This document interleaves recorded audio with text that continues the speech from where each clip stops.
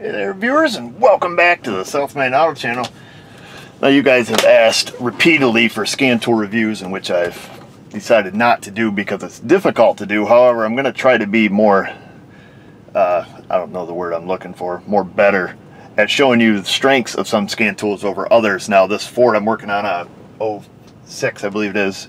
Uh, yeah, there it is. 06 F250 the V10 fish bite misfires after a while, might go a week or two, and I'll throw an ignition primary code, uh, like a PO335, for example, uh, which typically indicates a bad coil. Now, it may go weeks before this happens. However, sitting at an idle, you can feel a fish bite once in a while.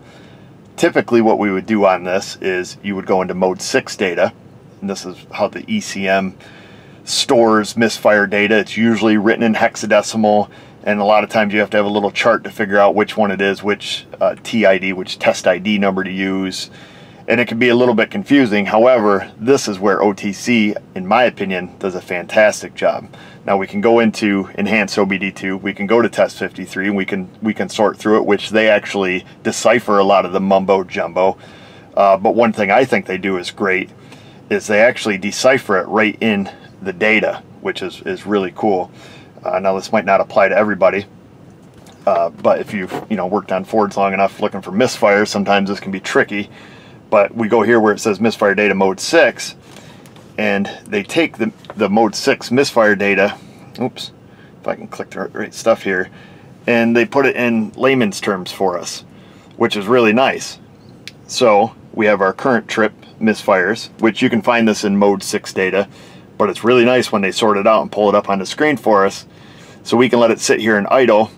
And eventually it'll start counting up so we can see that number six and number one are my you know cylinders at fault here the ones that are given the most trouble. Uh, and it's very intermittent.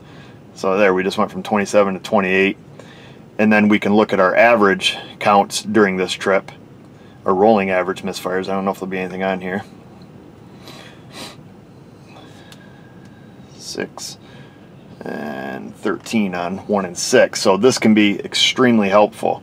Uh, the other thing that we can do on here, so those, those are going to be my two cylinders I'm going to be tracking down on this, you know, what's going on, bad plug, bad coil, you know, whatever. We can swap around coils at this point. We can change 1 and 3 and, you know, 5 and 6 if we wanted to, see if the misfire follows it.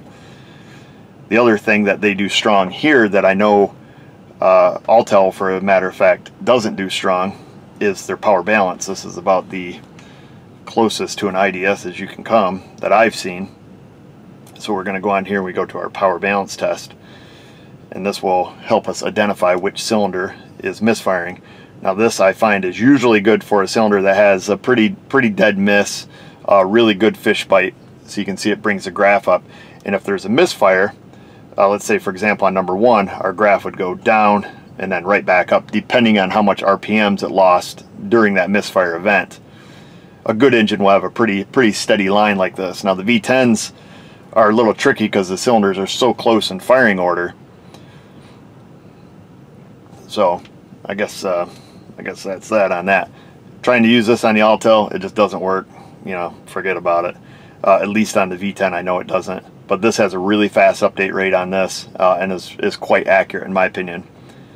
And the other thing I think is pretty cool, these have a built-in relative compression test where we can go through it, disables the fuel, disables the spark, you hold the throttle wide open, crank it over, and it will bring up a chart similar to that power balance test to let you know which cylinder isn't contributing as well. So you can do a lot of stuff from this right from the driver's seat and you know never have to get out, you don't have to get out an amp clamp.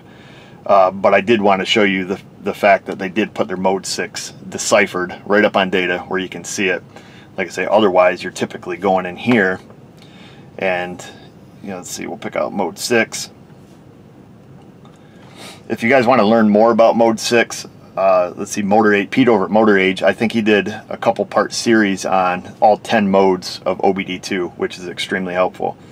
So you can come in here and you can see how they sorted out, like test ID number one, they actually give you a definition for it, which is really great because now you don't have to look it up and uh, you know give you the min and max values and the actual value that the car recorded. Like I say, this is usually in hexadecimal, you know, computer lingo, uh, which is hard to hard to decipher through. Um, let's see, we could probably get down to the misfires here. So this is typically how you would do it. You'd come down, you know, you'd have to find the right test ID. It may not even be 53 on, on this one because it's an 06. Uh, let's see, there's cylinder one. Yeah, see test ID 80 and 81. And then, you know, you can look at the value that it's at, its max value before it even sets an engine light. That's why this car doesn't have an engine light because, uh, let's see, our misfire cylinder one current data is a value of 27 and it has to hit this max value over here before it trips an engine light. So it's always going to come up as passed, but uh, this is kind of a, a, way you can do like, you know, early detection. Let's say you're driving this thing, you don't feel misfires, you try a ton of loads, but it's only at that idle. You know, I sound like a broken record at this point. But being able to go in here and look at it deciphered keeps you from having to go into mode 6, refreshing your screen all the time, you know, sorting through one cylinder at a time. The fact that they have this option is pretty sweet. And I find overall, in my opinion, that the Autel does not do that good on Fords in general. It works really slow. A lot of tests don't work, but I find that OTC does a pretty good job with it. So hopefully you guys can find some useful information there and we can see that definitely one and six are, are offending cylinders. And that's it. So I'm going to go with my diag from here and uh, just wanted to show you to that guys. So thanks for watching.